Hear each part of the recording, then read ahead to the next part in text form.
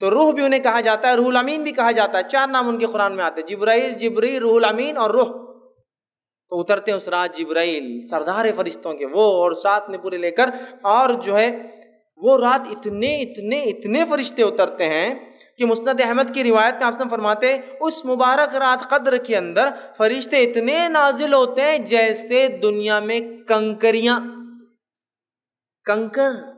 اتنے نازل ہوتے ہیں اور جو علماء لکھتے ہیں اس کی تفسیر میں کہ شب قدر کو قدر اسی لیے کہا جاتا ہے، اتنے زیادہ فرشتے اترتے ہیں کہ قدم رکھنے کو فرشتوں کو جگہ نہیں ہوتی۔